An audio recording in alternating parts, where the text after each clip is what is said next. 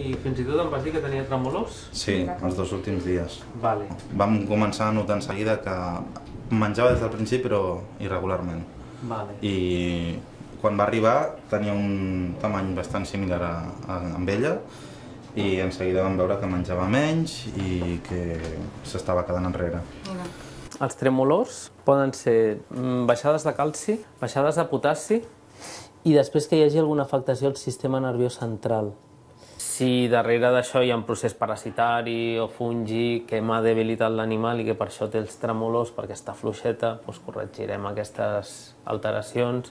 Si darrere hi ha un procés víric no hi ha tractament.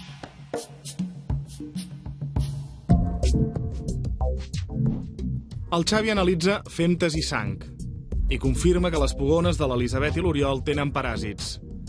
Però sobretot la que està pitjor és la Cali.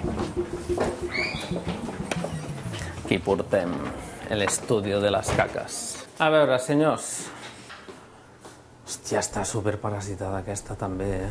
Claro, si estaba con la Roxy, es loco. Però super, super, super, super. A més a més de matar-los els paràsits amb un medicament, els hi haurem de canviar la dieta.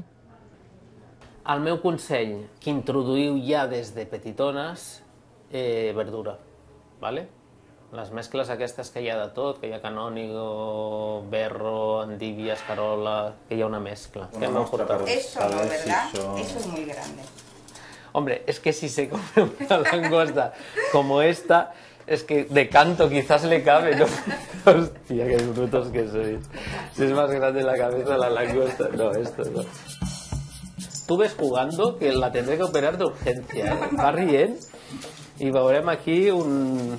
saca la, la langosta de urgencia. Pues apa, recogida. Xavi, un pronòstic?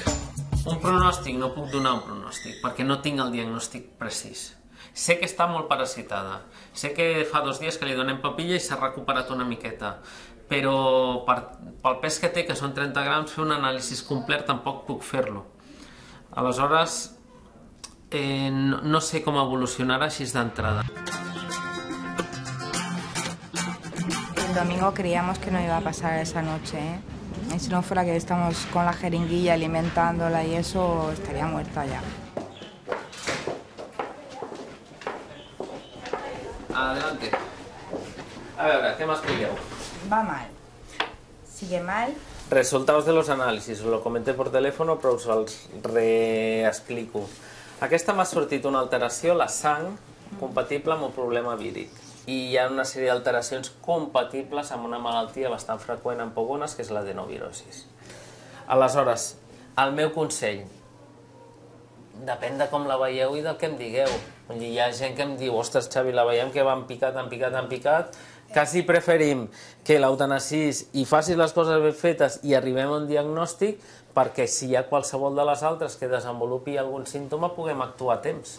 Yo te, te digo lo que opino. Eh, Tu digue'm el que opines. Bueno, eh, yo creo que a ratos pienso que merece la pena luchar, ¿no? Hasta el final, de agotar todas las posibilidades, las posibilidades. Y a veces pienso que estamos alargando la agonía. Porque en realidad, si no estuviera mm, con la jeringuilla y la papilla todos los días y los mimos y Ya. los cuidados que estamos por ella, ya, Ya. estaría muerta. El domingo creíamos que le quedaban horas, horas. Estuvo muy mal el domingo. Y, y al final la conseguimos forzar, o sea, ni tragaba, le hicimos Ya. masaje para que tragara papilla, le Ya. dimos un baño de agua calientita y se espabiló un poco, pero uf, Està pitjor que l'altre dia. sí, I tu què opines? Mira los ojos Lo hundidos, o sea, el- el- la cuenca de los ojos hundida está, está mal, está mal. Crec que la decisió és vostra, no? A mi em, em sap greu que l'animal no tiri endavant, però també hi ha, hi ha vegades en què les malalties guanyen el terreny, no? Nois, no sé. Què hem de fer, Xavi? No creo en los milagros. Crec en, en els tractaments, crec que hi ha animals més resistents que altres. Si fos una tortuga la seguia lluitant, perquè les tortugues et donen molt de marge de temps, que estan molt fumodetes i després s'agafen el fil de la vida i tiren endavant. Amb llangardaixos em costa més. Realment no crec que tiri endavant i per això el meu plantejament és molt clar, no? Queda una petita esperança perquè ja va fer una petita revifada, però és difícil de que es repeteixi. Segurament no, no millorarà gaire. No crec que millori, però bueno. Esperarem un parell de dies.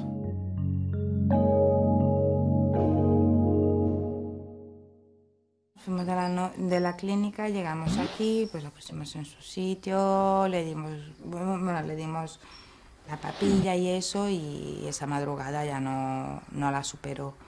Bueno, yo me di cuenta cuando él se fue a trabajar, a las 5 de la mañana, hacía poquito que se había muerto, pero esta me la encontré muerta. Els pogones són animals delicats que s'han criat molt per aconseguir fases més espectaculars i, i animals que no es veurien en estat natural, però dintre de lo que són els rèptils, eh, ja ens ho va dir el Xavi a la clínica, que poden agafar la, moltes més eh, patologies que qualsevol altre rèptil.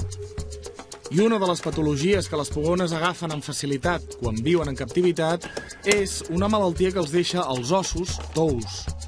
Per això, durant uns dies, menjaran el seu àpat preferit, les llagostes, banyades en calç.